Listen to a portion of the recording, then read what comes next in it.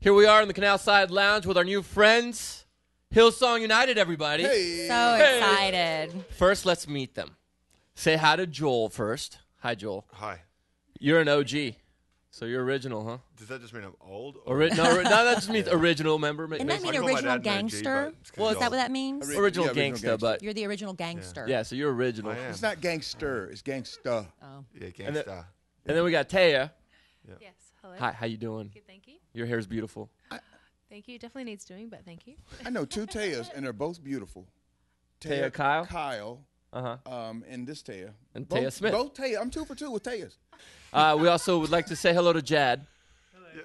Hello, Jad. My, my hair's good as well, right? Yeah. It's um, it's good. That's probably what I'm gonna go with next time I cut JC my is having hair envy right now. I want to have Joel's hair, but I'm not getting there. You don't want my hair. So I'm I- gonna go with Jad's. I'm having a recession. I would take his hairline any day. I And- feel you, dog. Of a. I see you.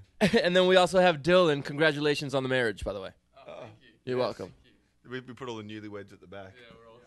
Oh, Everybody in the Yeah, back is newlyweds? In the last, what, two years?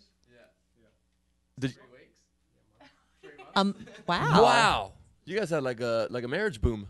Yeah. Special And then time. baby Very boom fruitful. comes after that. So you guys have your album out, Empires, and you're on the Empires tour. Yeah. You guys are going all over the place. Little sleep. Not much sleep. Yeah. It's crazy. It's so exciting. I watched, you know, I haven't been fortunate enough to go to one of the concerts, but to watch the videos on YouTube, it's so inspiring. You know, I mean, it must be just an electric feeling to be in that audience every night.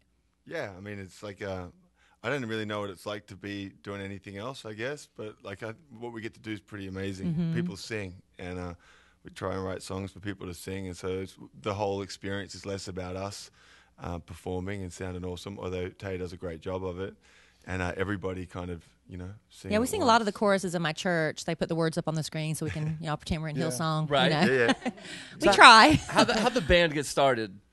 Uh, we, c- I mean, we kind of started like actually a lot. A lot of bands kind of we started just playing music in our in our youth ministry. Yeah. Just um, and in high school and whatnot, and uh, and we've been playing doing that for a long time. That's basically how we started, and we've been doing it for I don't know, maybe too long to mention the number right now, but yeah. So that's A that's few years. doing the same thing. You know, you kind of never imagined that we'd be still doing it or be here in Texas or whatever's going on today. But I mean, you're traveling the world. yeah.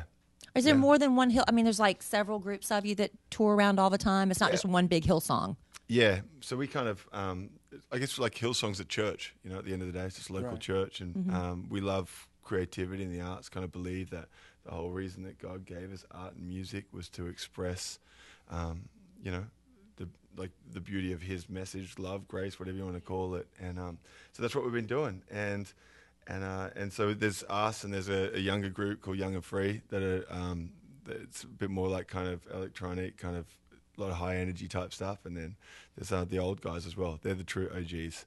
And um, so, but we're right in the middle, somewhere in between. But yeah, it's good. And it's just you know people are different, and I think so. It's just different expressions of the same thing for you know different people. And you guys have a lot of celebrity fans.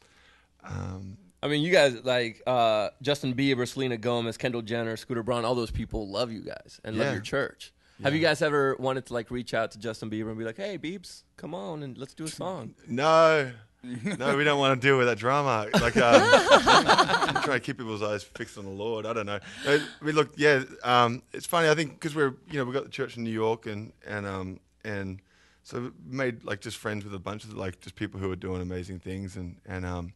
and I think people feel like they can come to church and just be themselves for once, and that's the, the idea. So we try and avoid, um, you know, kind of crossing those lines too much. But yeah, Justin has offered many a time to get up and sing because he loves, he, you know, he loves it. But um, I think it's just best he sits on in the, in the pews and sings. Yeah. Let, let- let the OG handle Yeah, it. we got Justin. this. Yeah, I got We got this, I said, dude, I see you.